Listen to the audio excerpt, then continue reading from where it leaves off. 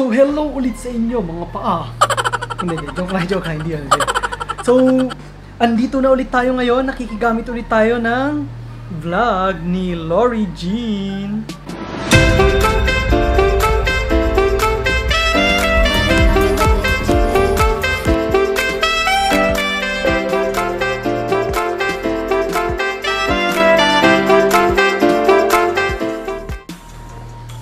Kaya tayo guys napabisita na naman ngayon kasi meron tayo ng ah, gagawing quick unboxing and quick review ng pinakabagong model ng Bluetooth wireless headset ang Bluetooth T6 So yeah guys, Bluetooth T6 yan ang pinakabago, ang latest sa T-series ng Bluetooth wireless headset. So, bibigyan ko lang kayo guys ng konting ano no, konting background kung paano ko na discover tong brand na to. Nung dati kasi guys, parang 2 years ago, naghahanap ako nun ng ano ng wireless headset. Yung wireless headphone, yung malaki, yung over the ear headphone. So, uh, kakapunta ko sa mga music store, sa mga online. Uh, check ako ng check nung mga Sony, yung JBL, ano pa ba yung mga meron nun, uh, Bose, yung mga ganon. Philips, so meron yan. Ang dami ko talaga tinatry nun guys. Siguro for 2 months guys. For 2 months, almost every day. Punta ako ng punta ng mga mall. Kung saan saang mall talaga pumupunta guys. Para lang matest ko yung quality ng headphone. So yun guys, ang dami ko talagang pinupuntahan guys para lang matest ko yung quality ng headphone. Tapos, uh, one time guys, after 2 months of searching, napunta ako sa SM North. Sa SM North sa Odyssey. Tapos doon may nakita akong parang ano lang, kulay brown na box. Yung parang napakasimple lang talaga, basta box lang talaga na kulay brown. Tapos ano, Blue Jew. Yun yung Blue Jew T2 Plus. So yun, nung tinesting ko yun guys, talagang, wow, talaga parang sumasabog yung ano yung music sa ano ko parang sumasabog yung music sa brains ko uh, napakaganda ng bass napaka-clear ng sound parang ano kung ano yung experience ko dun sa Sony yung parang 8,000 plus na Sony tapos yung JBL yung mga 8,000 plus din nila mas ano pa mas maganda pa dun yung sound quality so parang ang katapat niya yung mga ano na yung parang 16,000 na Sony na headphone yun yung katapat niya, guys. Napabilib talaga ako nun. So, napabilib talaga ako nun, guys, nung ano na yun, nung instance na yun. Then, uh, nagulat ako nung tinignan ko yung price. Ang price lang niya is 2.5. Imagine dito sa Philippines, 2,500 yung ano, yung Bluetooth T2, T2 wireless headphone. So, actually, guys, yun yun, oh. Yun yun. Ah, ito, ito. ito pala. Yun yun, guys. Actually, ngayon kasi, ang nangyari kasi dito is napabayaan ko siya. Uh, parang nakalimutan ko na ilagay ko pala siya sa bag ko. Tapos within 2 months, nandun siya sa bag ko within 2 months. Siyempre, dami-dami ko nilalagay. Tapos, talaga naipit na kung ano-ano. So, parang yung leather niya nag-crack. So, anyway guys, papakita ko ng konti sa inyo. Ito siya. Ano, kung mapapansin nyo, Blue Jew. Yan. So, yan siya guys, Blue Jew. So parang ano lang siya, parang plastic na laruan lang talaga siya. Pero eto guys, etong kulay black na to, tsaka itong black na to, nilagay ko na lang yan, pinalagay ko na lang yan kasi talagang nawasak ko na talaga siya actually, yung mga leather niya. Ang maganda sa kanya guys, pwede siyang ma-fold. Ayan no, naka-fold siya. Yan. So kung mapapansin nyo guys, yan no, may mga puti-puti na siya kasi yun nga yung leather na cover niya na red, talagang nasira ko na. Yan. Kaya yun. Pero so far guys, napakaganda pa din ang quality nito. Actually, ginagamit ko pa din siya minsan, no. Bago ko pala makalimutan guys, isa sa main features talaga ng Bluetooth headsets is yung battery life niya. Uh, dahil sa battery life na to guys, talaga imagine guys, napakaganda ng quality, napaka-clear ng music, napakaganda ng bass, uh, napakatagal ng battery niya guys. So, kaya dahil dun sa tatlong yun guys, talagang ano siya, kaya naman internationally well-known brand talaga tong Blue. Actually, pag nag-search kayo sa YouTube guys, ang dami-dami nyo makikita ng mga uh, kilalang YouTubers na talagang ine-endorse din nila yung Blue Jew headsets. And inaabangan nila yung mga kung may bagong release ba yung ano, kung may bagong mga release ba yung Blue Jew. So yun na nga guys, no. Uh, yung battery life ng Blue Jew headsets guys, actually masasabi ko isa yung yung dati ko yung T2 Plus. Uh, siguro mga 2 weeks straight na nag sa sounds ako uh, na ginagamit ko siya. So sabihin natin guys na 4 hours a day yung 4 hours a day mo na yun guys, kaya mong umabot doon ng mga siguro 10 days na hindi ka magcha-charge. Yung battery usage niya, parang yung continuous play, umaabot siya ng 40 plus hours. So, hindi hindi ka talaga mamamroblema guys na baka pag nag-travel ako, mag-lowbat agad, hindi ko na magamit. Hindi mo po problemahin yun. Talagang kahit siguro mag-travel ka ng 2 days straight, kayang-kaya yan. Kahit 1 week pa yan, kayang-kaya. So yun, huwag na nating masyadong patagalin. Ito na, bubuksan ko na, bubuksan ko na, bubuksan ko na. Actually guys, to be honest sa inyo, uh, di ba nasabi nga namin dun sa isang vlog namin na yung Lazada, nabili ko kasi ito sa sale ng Lazada. Uh, yung 2,600 guys, naging ano na lang siya, 2,129. And then may voucher pa ako nakuha, kaya naging nasa ano lang siya, 1,800.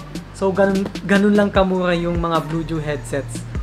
Although, pag na, pag na-try nyo talaga to guys, yung quality niya is ibang-iba. Pinili ko is yung black and red colors. Uh, meron itong pure black, meron ng, yan, yung black and red. Tapos meron din ng black and yellow. Yung mga red, uh, yellow siya. So yun, excited na ako. Although, nagamit ko na talaga siya to be honest with you guys. Nagamit ko na siya kasi yun nga, masyadong matagal yung uh, pagdating ng mga item na binili namin sa Lazada. So, pa isa-isang dumadating, ginamit ko na. Ayun! Yun na siya! Napakaganda! Diba? Simpleng-simple lang ang packaging niya. Ayun. May plastic cover lang. Meron ng pouch. So, yung yung ano, yung headphone mo, pwede mo siya ditong ilagay pag magta-travel ka. Kung halimbawa hindi mo siya gagamitin, itago mo lang. So, baga na protection to guys para hindi masira yung leather and hindi magkaroon ng scratches yung headphone nyo. Ito naman, may manual. And then, uh, ito may box. Ito yung cable niya. Ito yung gagamitin mo pang charge. Uh, meron siyang, ito USB papunta sa USB-C. So, yung port ng, ano, yung port dito sa headphone natin, USB-C type na siya. Ito yung gagamitin pang charge. And, syempre, ang ating pinakaabangan, ang Blue Duty 6 Peso. Oh, napakaganda, napakaganda, napakaganda, di ba guys? Oh, di ba? Oh, oh, napakaganda oh. Uh, sakto. Oops, di ba? Ang ganda. Kung mapapansin nyo, nakalagay sa kanya is turbine. Kasi itong mga headphone na binibili ko sa ngayon, yan yung T-series ng Blue Jew. So madami pa silang series, meron silang uh, ah, UFO, merong H series, merong ano pa ba? Uh, basta meron pa limang klase ata yung limang series ata yung meron sila. So ito, T6 na to. So meron na tayo nung ang uh, nakuha natin T2 Plus. Uh, meron ng T3, T3S, T4, T4S, T5, T5S. So uh, sa sale guys, abangan nyo, sa sale ng Lazada sa December, bibilhin ko yung T4 tsaka yung T4S tsaka yung T5S. Hopefully mabili natin. Then, uh, ito, uh, pansinin muna natin yung ano niya, earpads and yung butas dito. Malaki siya. So, ito, isa pa sa mga gandang feature nito, malaki yung butas dyan. So, kasyang-kasya yung ears mo. Pag ginanon mo siya, baliktad pala. Pag ginanon mo siya, so hindi siya nakapatong sa ears mo. Talagang nako-cover niya yung buong ear mo. Parang ganun. So, hindi may irritate yung ears mo kahit na masyadong matagal mo nang ginagamit. Then, pansinin nyo guys, ito, napakaganda ng quality ng kanyang foam. Napakalambot, napakalambot. Napakalambot guys, kaya kahit na gaano katagal yan sa tenga nyo, maganda talaga sa pakiramdam. Oh, hindi masasaktan yung tenga nyo, napaka-comfortable niyan. Then, isa pa yung dapat din natin pansinin is yung foam dito. Kung mapapansin nyo, ayan, napakalambot, napakalambot, napakalambot niya. Diba? Oh. Oh.